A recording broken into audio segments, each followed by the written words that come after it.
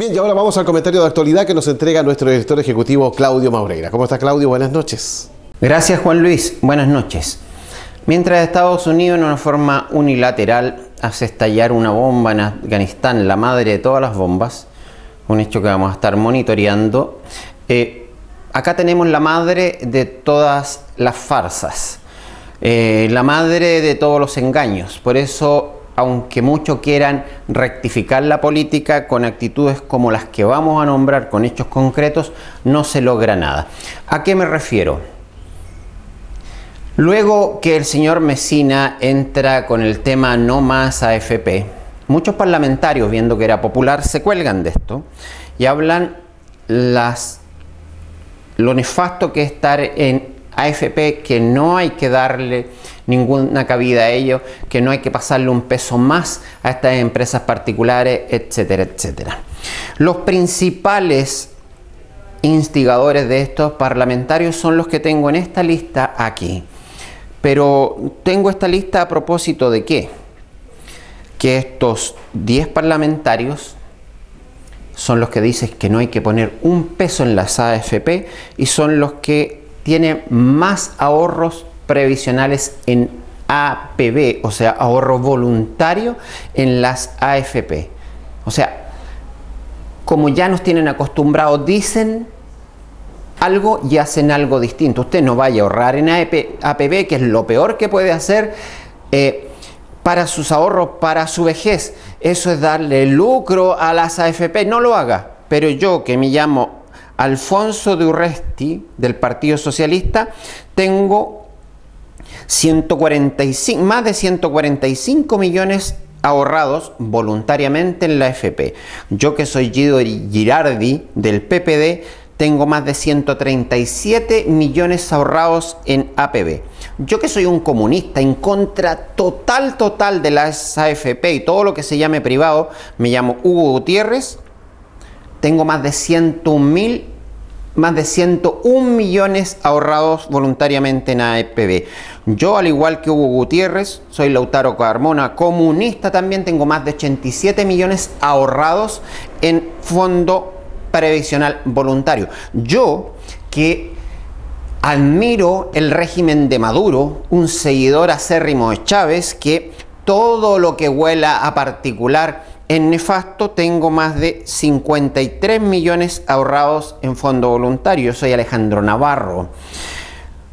Adriana Muñoz del PPD, más de 48 millones.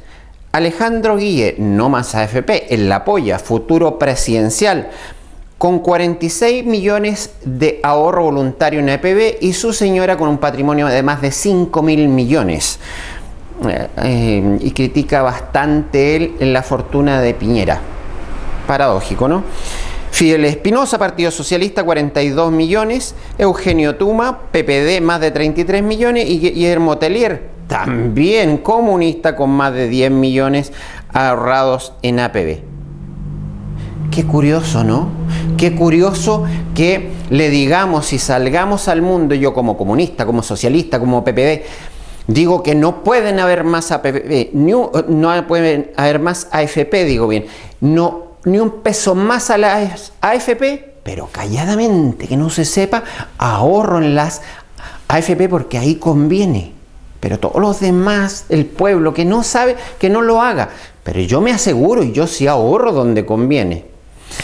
Eh, nuestro diputado presidente de la Cámara, socialista, Fidel Espinosa, ¿sabía usted que eh, su patrimonio solo en uno de sus eh, en una de sus propiedades un campo evaluado más de mil millones de pesos. Postuló y se ganó un subsidio habitacional el, presidente de la Cámara de Diputados. ¿Sabía usted que mientras teníamos todo el problema del supertanque, que no había dinero para traerlo, los incendios arrasaban eh, en nuestra flora y fauna, eh, habitaciones, etcétera, etcétera, no, eh, no, había plata para hacerlo, el director de la CONAF estaba atado de mano. Pese a eso, van desde el gobierno central ya entregado 3 mil, escúchame bien, 3 mil millones de pesos al nuevo Museo de la Memoria en la octava región. Y le voy a hacer este cálculo y por eso me permito de leerlo. Con estos 3 mil millones de pesos, el gobierno central puede haber eh, entregado 15 nuevos carros bomba a, por ejemplo, a la región del Biobío, donde están los dineros para este Museo de la Memoria. Financiar totalmente a más de 100, 250 alumnos de la Universidad de Concepción, a más de 250 alumnos, pavimentar más de 30 kilómetros de caminos, construir 8 macrocentros médicos. Aquí en Chillán no tenemos un nuevo hospital. Se puede haber construido más de 4, eh, o sea, construir 4 megacentros, construir 140 viviendas sociales, 120 sistemas de televigilancia para combatir la delincuencia. Todas estas cosas se pudo haber hecho con estos 3 mil millones que están en el Museo de la Memoria, nuevo ahora en Concepción. Prioridades, ninguna. Interés de la ciudadanía, ninguno. Lo que yo les digo, créanmelo, porque así es. Pero yo hago lo que realmente es conveniente. Invierto donde se debe. Pero en lo político, en, lo popular, no, no más AFP. Pero aunque sea comunista, yo invierto ahí porque ahí es realmente donde está el dinero. Eh, soy eh, un diputado con un gran patrimonio de miles de millones y pido un subsidio. Y en vez de hacer todos estos beneficios que enumeré, lo pongo en un museo de la, de la memoria. La madre de las bombas políticas, la madre de las mentiras y justo previo a Semana Santa. Pero de todas maneras que este fin de Semana Santo, donde recordamos a la muerte de nuestro Señor Jesús, le inunde bendiciones. Buenas noches.